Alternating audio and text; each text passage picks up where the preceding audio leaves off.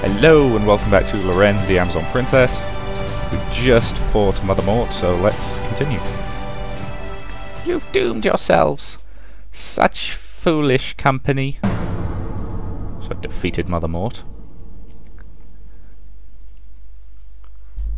The necromancer fell to the ground and withered away until she became ash, revealing that magic had been hiding her true age. Failed undead pact. Good, one less bad guy in the world. That was a little fun. It smells terrible in here. I'm going to lose my breakfast. Hold it, Draco. We have to get out of here first. Right, so presumably... If I just look at the old quest log... Yeah, we're now just down to stop the barbarian and stop the succubus. I'm still going to go back to the Varrock lair. The big, the party was standing outside of the big cave, once inhabited by Vork, the only sound the desert wind. Search for the Death Knight. Ask. We've heard enough. Okay, we're just leaving him be. Our matters are not resolved. We will return. Will you? Yes, so we've now taken out her, which means that I think, presumably, he'll be on our side later. Not completely sure. Right, so, if we examine, stop the barbarian, outskirts of Horus. Right, so we either go for the barbarian or the succubus, so we either head to Horus or to Grand Tree. Let's start with the uh, providing of loot, actually, while I remember. where's she at? Well, no. Let's equip the Necklace of Leadership. And Draco's already got some decent padding. Chambara doesn't, so oh, she's just got a simple cloth shawl, so let's give her Mort's mantle. Because that seems like the kind of thing she'd like. Okay, happy with that. And quick check, not expecting them to have anything to say, but you never know. No, damn it, I'm going to click on him. The detection of which of these guys you're trying to click on seems to be a little finicky at times. Yo, it's, it's at worst very mildly annoying, but, you know, worth mentioning. She's not in the mood. Break camp soon. Need to be alone. Nothing new with him. And... Okay, nothing there. Alright, sorry for having to do that quite so often. As I said, it would be quite nice if there was a way of telling when they've got something to say to you, but other than that, that's my only comment, so let's head to Horus. The city of Horus was in flames, wives screamed for their children to run to safety, and the men rushed to douse the fires that were destroying their homes. In the middle of the chaos were General Samel and a handful of Imperial soldiers directing the relief effort. Loren and Elnor ran up to him. Are we too late? About time you showed up. Now maybe someone can save this city. What's left of it anyway. Who did this? Where are they? An army of orcs. We were able to turn them away, but they are circling back around for another attempt to raise Horus to the ground. Orcs, you say? An army of them. And demons. The word warranted a scowl from everyone in the party.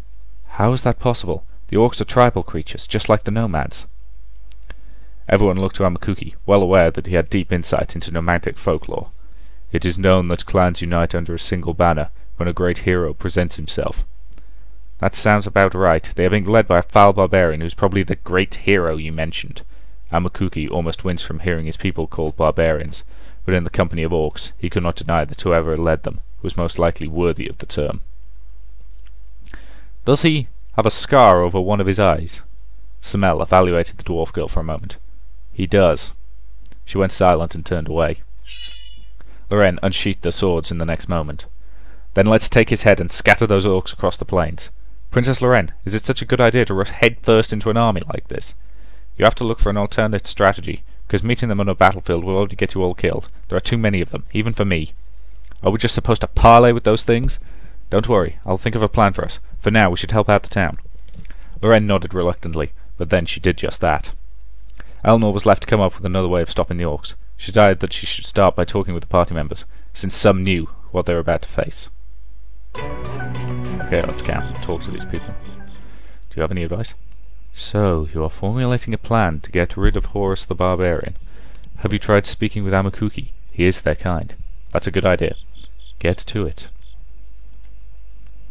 You wish to know more about nomadic culture? Yes.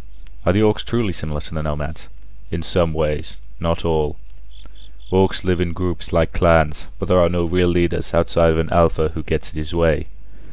But I have seen separate clans fall under the authority of a single alpha, who has not only strength. What else besides strength? Intelligence. So Krull has united these orcs because he's not only deadly but smart. This is going to be much more difficult than I thought. You're considering battle with them. Our choices are limited. We cannot fight them all and plan to survive. I haven't forgotten. What do you suggest? Getting rid of the army. That's not helpful. However it was, Elnor was able to take her new knowledge of the orcs and use it to her advantage. If the orcs were following Krull because he was a great leader, she need only prove that he was not that great after all. Hmm, you seek a non-violent resolution to this orc situation, don't you? Yes, I do. There are those that you can talk these things out with, and there are those that need a good punch to the face to sort out. In my opinion, the barbarian is the second type. Dora, look after you, or is it just me? I was going to ask you the same thing. She looks troubled. Yeah, she's been acting strange since we left the Amazon place, looking all distant. I'll look into it. Well, Dora clearly knew the guy. Dora? Uh, huh, what? I'm sorry, what's wrong? You look nervous about something. I ain't acting weird, you're just imagining things, I swear. Is that so? Then how come you knew the barbarian had a scar over his eye? You know something about him, and I need to know it. I just know about him, that's it. Is he infamous where you come from, then? Her face contorted into a rare shade of anger. Something like that, yeah. What can you tell me about him, then? He deserves to die. There was a moment of silence after she said it. She meant her words entirely, and that took Elnor by surprise. Why?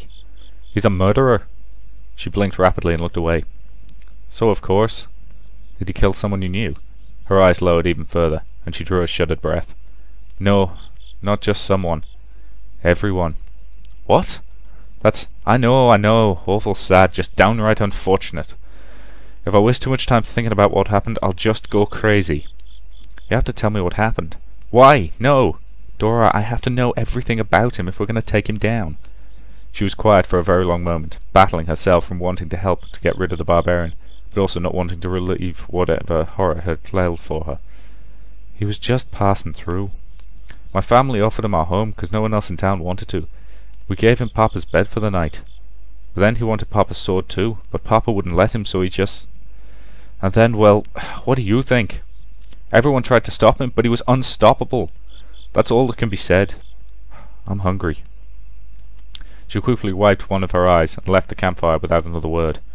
From her tragic story, Elnor learned that Krull was a dishonest person who only cared about getting what he wanted, and that also he was a frighteningly formidable opponent.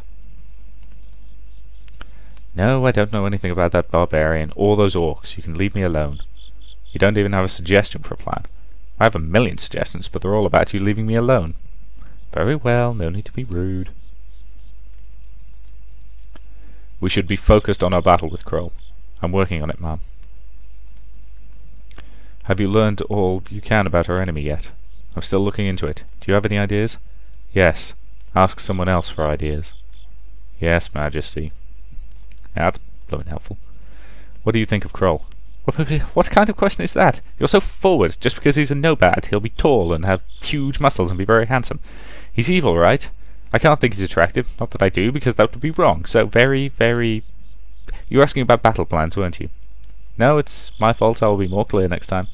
I'm going to go hide under a rock now. Bye! Is there no way we can solve this problem at Horus without violence? It's unlikely. I was afraid of that. Do you have any ideas? Shouldn't we try to appeal to them first? If they are not all demons, then they have something else driving them. There has to way to get them to leave without fighting them all. That barbarian that the General described. Yes, what about him? I know him, actually. Not simply know of him? Not quite. He was once a sword for hire. The elves often recruit mercenaries to help escort caravans outside the forest. I take it you were a mercenary too. I remember this barbarian Krull, because he had the most garish scar across his face. He was a one-eyed swordsman, and that fascinated me. He's blind in one eye. Precisely. That is no disadvantage. He's a complete monster in battle. Actually, I fear what the world would be like if he had a full pair. You have a familiar gleam in your eyes. Why are you so interested in him? There is much to admire about him. But what's worth even more admiration is the masterful elf that manages to take him down. Ah, he's another challenge for you. But it is more than him simply being an obstacle to conquer. I have not yet finished my story. I and the other mercenaries were escorting a caravan to Hammerhand, but we were ambushed. Apologies. The troubling thing about Kroll is that he did not fend off the ambushes. Instead, when it was clear that some carts would be captured, he switched sides completely. What? He set up that ambush? Believe it or not, I don't think so. He fought as many bandits as he did mercenaries that day. I think he just saw an opportunity to take advantage of the situation. If you ask me, that's typical barbaric behaviour, but he has no mercy in him. The workers are in the habit of surrendering their goods in exchange for their lives. Kroll took both. Elnor was disgusted. A warrior who would not accept someone else's surrender is honourless. But she did learn that Kroll would take advantage of a situation if it presented itself. Hmm.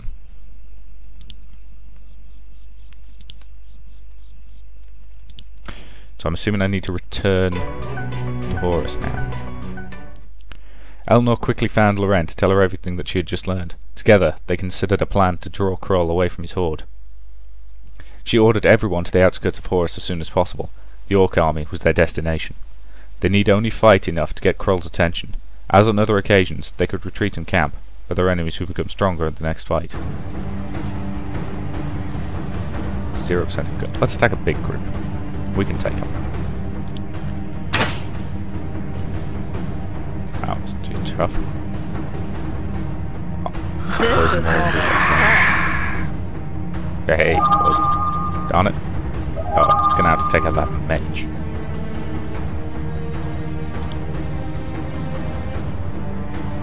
Let's try some paralysis.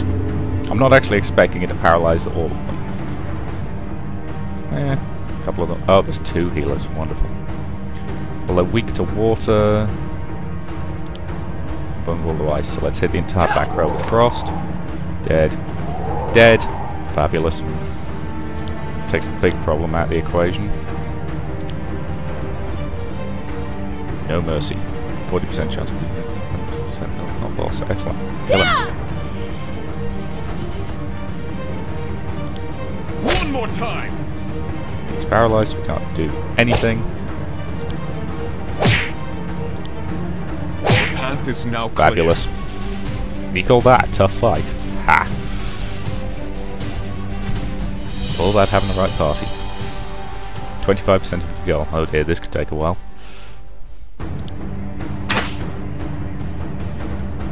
Okay, once again. Let's poison the oh, entire back row.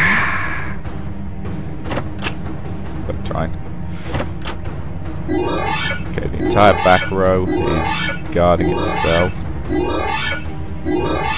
Well, it's casting healing spells. Bloody healing spells.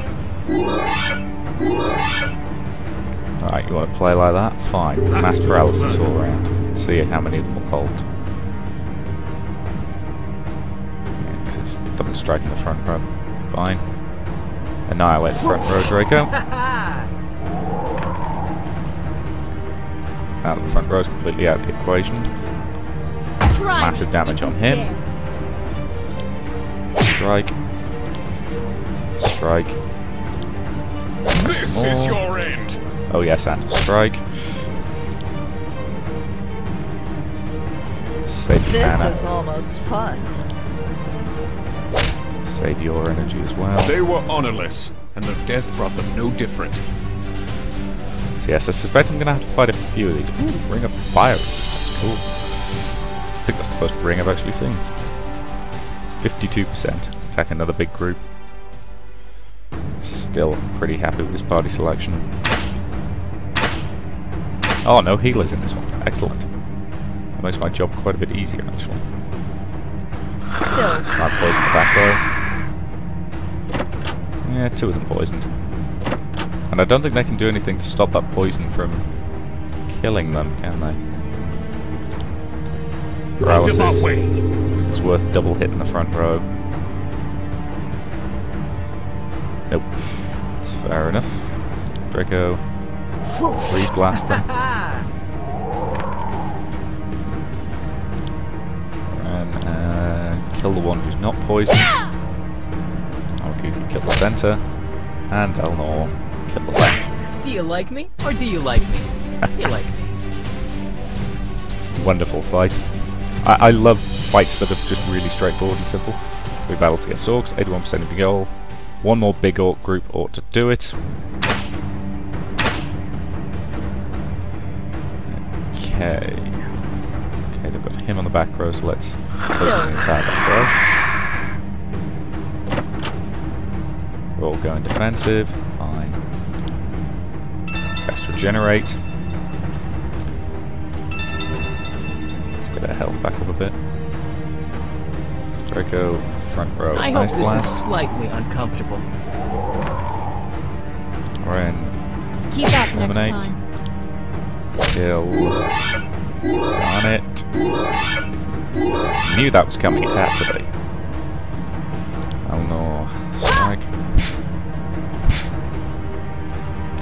Do any serious damage. Kill.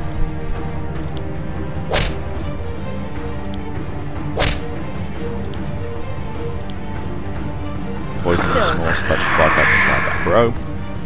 Well, got that guy was guarded, but that's okay. Meteor strike.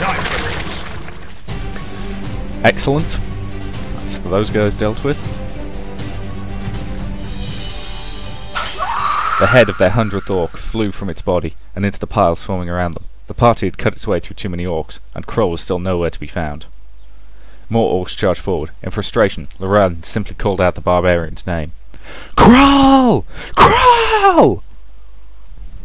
The approaching orcs slowed and then split away to reveal a path. Kroll had heard the call and was responding. A tall, monstrous man showed himself, with a scar over one eye and two massive warhammers in his hands. Doris took a step backwards instinctively. He said nothing for a long moment, as his army and Lorenz's party repositioned themselves defensively. He looked inappropriately amused. You kill many orcs. You will disband your army immediately and face imperial punishment for your crimes. His smile only deepened. Amakuki.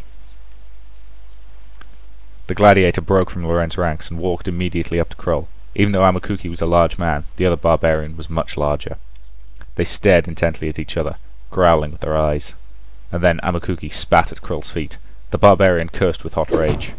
He quickly wiped his weapons off on his shoulder and impaled them in the ground before him. Amakuki did the exact same with his sword. They both proceeded to grunt violently at each other.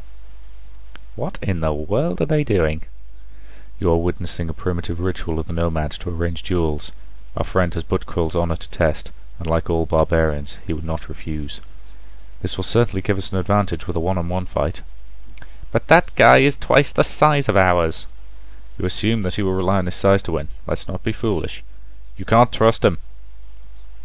Her voice cut through the tension, as if they had all forgotten she existed. Dora had tucked herself in the very back as if not to be seen.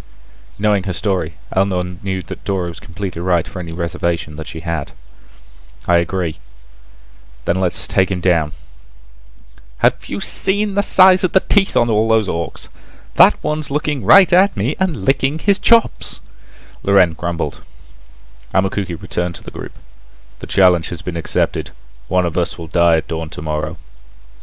Don't be saying like that like you ain't sure who's going to win. You got us by your side. If he doesn't plan to play by the rules, then neither will we. We'll all make sure the right person goes down tomorrow. No, let me fight him. No tricks. The group was silent for a moment from his request, especially Elnor.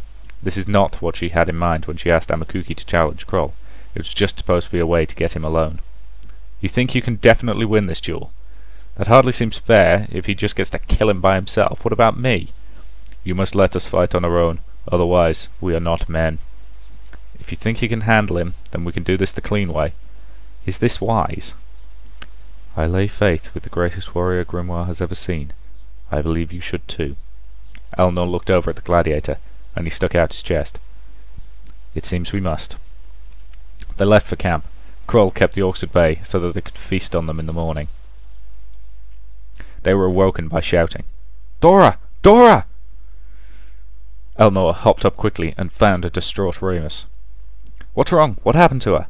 Dora's missing. She's nowhere, I tell you. By then, the entire group had formed around Remus and began scanning the horizon as if to catch a glimpse of her. You've checked? You think I haven't checked everywhere. When I say she's missing, you better believe she is. Very well, dwarf. Calm down. We will make sure that she is found. Could she have been kidnapped? No. Ray was hunched against the ground looking for tracks. She just walked away. If she has gone that way, she is heading for the orcs and Krull. Elnor went quiet. It could not be coincidental. We need to save her. Why? Why? She's heading right towards danger. Everyone followed Dora's trail, and sure enough, it led right to the orc army in the nearby distant. We will have to look for her some other time. We have a duel to fight. Elnor nodded and unsheathed the sword, hoping Dora was okay for the time being. There was a greater matter at stake. They all found the spot where the two nomads had buried their weapons in the ground, as if it was a mark of their dueling location. Ray offered to hide away on a nearby cliff and act as an immediate end to Krull if the duel went sour. Elnor took on this, took him up on this, knowing he had an excellent shot. The Orc army once again filled the plains, with a few decorated leaders standing next to Krull, who was waiting impatiently. I am ready. He raised his shield and slammed it with his sword. Loren nodded. Satisfied, he moved to engage Krull. The Orcs and Loren's followers gathered around both of the duelists stood by their weapons at the centre. Krull was stoic, but Amakuki pulled his sword out of the ground with a challenging glare. Krull grunted. You act like Nomad. You look like Nomad. But you are not Nomad. There was a full body reaction in Amakuki from the taunt, his face now contorting in bloodlust. You die. With that, Krull tore his hammers from the ground and rushed towards Amakuki. He managed to deflect the massive strike. All watched as the two demonstrated why the people were called barbarians. Even though Krull demonstrated greater strength and more brutal tactics, Amakuki somehow managed to hold his own, proving he had rightfully earned the title of Bear in Grimoire. The battle waged for what seemed like hours, but could have been no longer than a minute. In a heated moment, Amakuki used his superior agility to maneuver Krull to lose his grip on his weapons.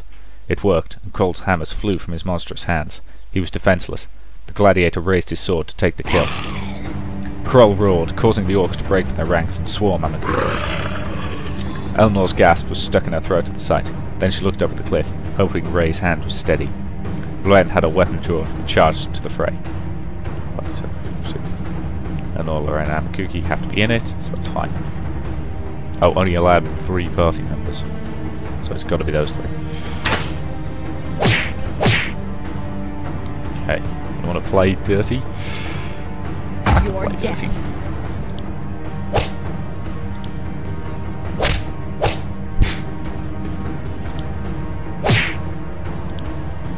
Oh, bloody hell. Now I've got to use my highest damage dealer to kill a guy with one health. No, screw it. Amakuki, you kill that one. Strike him. Strike. Capitation strike would have been completely unnecessary and waste a perfectly good mana or stamina or whatever you care to call it when it's a warrior. Like 2 should be sufficient. Dead. Easy enough fight. oh, sorry, stretching in my chair there. Amakuki tried to defend himself, but there were too many. They could not kill an entire army by themselves. Crossbow bolts pierced the sky, striking attacking orcs. But more just sprang up in their place. You call yourself a warrior? You fight like a coward. Kroll growled loudly, and the orcs retreated, but their damage had been done. Amakuki was bleeding from several wounds, but he was still standing. I am great warrior, best warrior, orcs know. The entire orc army started to howl menacingly to show their loyalty. The cacophony surrounded them, sending shivers through them, even Loren. They could not fight their way out if they decided to attack. The reality of the position that they had put themselves in was suddenly too clear. But the harmonizing of the orcs was disrupted uh, abruptly by a high-pitched yelp. All of them were silent as one of the orcs in the front lines keeled over. Dora pulled her knife out of the dead orc with a look none of them had ever seen before. It was dark, it was serious, and truly sad. You ain't a warrior! You ain't! Her voice trembled as she stepped out of the orc ranks, shedding what must have been an orc disguise. No more hiding! I ain't gonna hide from you no more! Dora! The dwarf woman held out her short knife and took staggering steps towards him. The orc started hissing at her, but Krull gave no orders. You are puny. So what? Dora ran forward and pulled, plunged her knife into Krull's chest. No one breathed a single breath as Krull looked down at the weapon impaled in him, and then Dora. He took the knife out of him and tossed it away without blinking an eye. Run! Leave! Kroll scooped up Dora before her legs would let her move. She screeched as he lifted her from the ground. I know you. You smell like Dwarf Village. He grinned, thinking about Dora's hometown. I'd not find you then. Unhand her, you flea-bitten lard weasel! Ramus had marched to Dora's rescue, his axe ready. Ramus, no! Dora swiped its face in distraction, landing only a mild blow. But in the next second, a crossbow bolt whooshed past her and struck Kroll right in the neck. He hollered and dropped Dora. Ramus rushed over and helped her up, and she immediately recovered her knife. The orcs didn't like this turn of events, and started screeching and pouring at the party, itching to kill them. Loren was not pleased either. We fight Kroll. Loren and Elnor ran at Kroll with their weapons ready. The barbarian had gone too far. Dora attempted to stab Kroll as he tried to get the arrow from his neck, but in the next moment, the entire party was on top of him, trying to get a piece of him. Let's kill this son of a bitch. So, back to my normal. Okay, I need to have Dora in the party, so let's put her there. Have him there, and there. Assuming he's pretty... Yeah, he's weak to water attacks, isn't he? Cool. Right, let's take out that healer first. Why do they always focus their initial attacks on Elnor? It's really annoying. Given that he's my primary tank. Okay, Draco, I want that back row annihilated. Dead. Dead. Really? Damn it, it's still standing. Okay. Try me if you dare. Boogie taunt.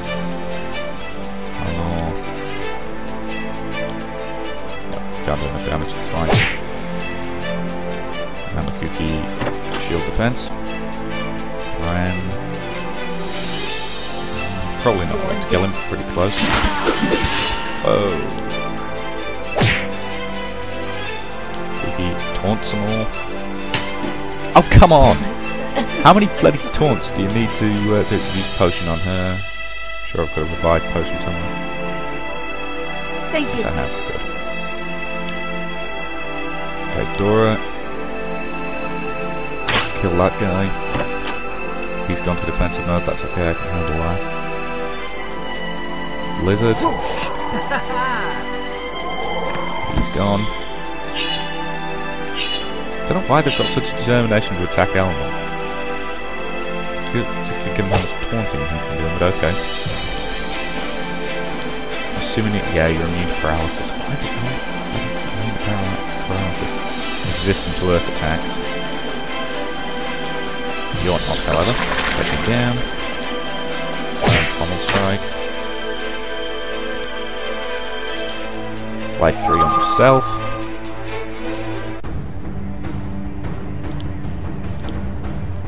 Strike him. Strike him.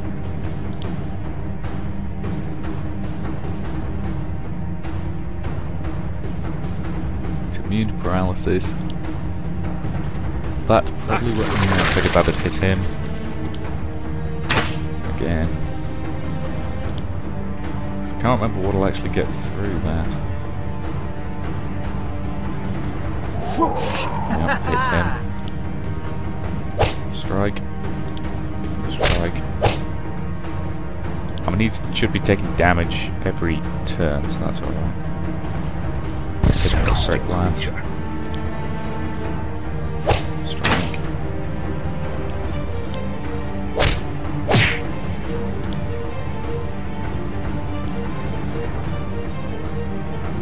50% of target's actual HP. Straight, high damage attack. Straight attack. Magic blast, he's down. And he's very, very dead. Ah, there we go. Not too difficult. Got some good junk out of it. and a couple of people leveled up. Good. Yamaguchi. Hmm. The large barbarian hollered in pain and fell to one knee. You cheat! No honor! Silence! Loren unleashed a final blow, and Krull was permanently silenced. After Krull was dealt with, the various orc leaders split off into separate directions, breaking apart the army. They all scampered away, leaving only the dead strewn around in the field. A great sense of accomplishment flooded the group. Horus was now safe again. I would say we just achieved the impossible. We have an even more impossible task ahead of us. This feat will pale in comparison. General Samel should be notified immediately. Yay, stop the barbarian. And got some XP. Right, I'm kind of overrunning my timer a little bit, and this will be the last video I do in this particular session. For the simple reason that, you know, I've got to go to work and depressing other real world problems like that, so.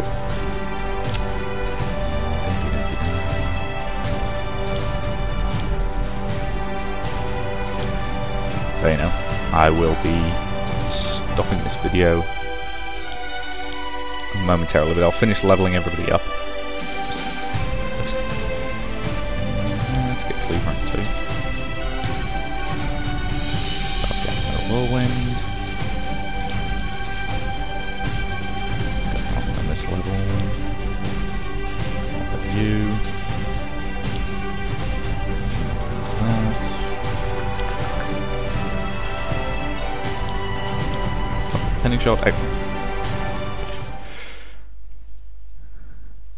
Uh, since I have overrun it a bit, I will save my game here and say thank you very much for watching, and I will see you in the next video.